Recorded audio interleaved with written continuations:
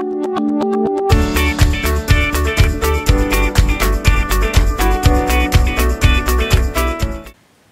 Sfogliamo ora insieme i quotidiani che troviamo in edicola, il Corriere della Sera in primo piano Schengen in bilico per due anni, la ministra austriaca, il trattato sta per saltare ma Alfano per ora è salvo, migranti sei paesi, prorogare i controlli, dossier sul rischio attentati, 5.000 militanti dell'ISIS in Europa. E l'analisi una vera trappola ed un'ingiustizia per noi e la Grecia. E poi la cronaca direttamente da Roma Roma. Ieri il caso evacuato alla stazione Termini fermato e poi rilasciato col fucile finto tra i binari. Un'ora di paura a Roma. E vediamo in taglio alto l'allarme europeo sul debito italiano. Renzi con me 50 milioni di cittadini. Il retroscena alla missione di Paduan per chiudere sulle banche, le parole di Schauble, la tentazione tedesca delle velocità separate, l'intervista ai capelli di Hillary e di pregi di Sanders, quello che pensa e dice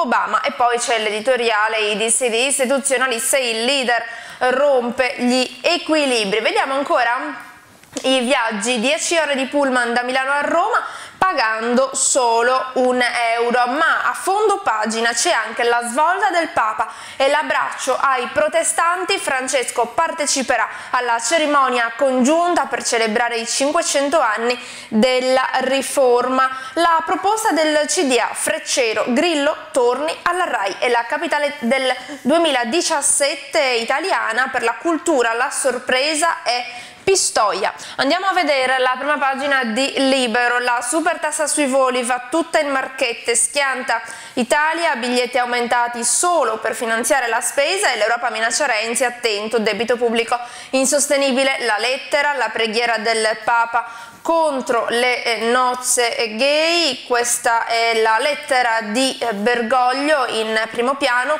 E ancora la mazzata su Schengen, è iniziata la procedura che consentirà agli stati di chiudere le frontiere. L'Italia trattata da nemica all'Unione Europea ciclone i venidoc con il voto del PD leva i dazi all'olio eh, tunisino e poi risarcimenti milionari morti per l'amianto, Telecom presenta il conto a De Benedetti e la mappa dove si può fare la spending review. Ecco, le finte pensioni di invalidità, quattro regioni alzeranno l'addizionale IRPEF salasso fino a 850 euro e poi all'interno ci sono le tabelle. La prima pagina del Fatto Quotidiano, le indagini sulle banche, il governo vuole prendersi pure la finanza, le nomine al posto dello sgradito capolupo in ballo delle femmine Toschi e eh, Carta. Intanto Vediamo.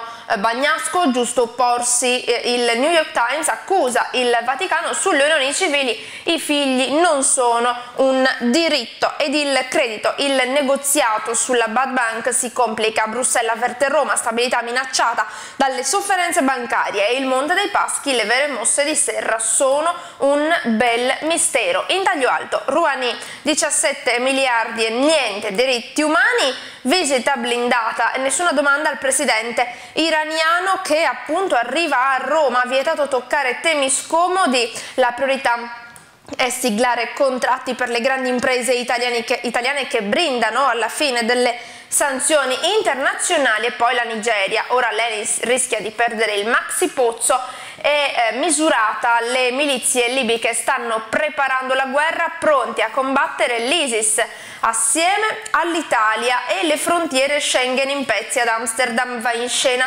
la crisi dell'Unione Europea intanto a fondo pagina i misteri siciliani il Caravaggio della mafia torna ma solo in copia questa era l'ultima notizia vediamo quali sono le altre